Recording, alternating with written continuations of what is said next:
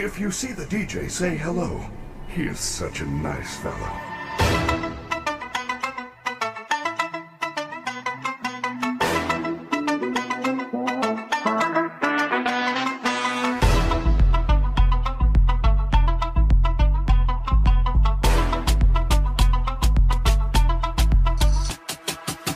His than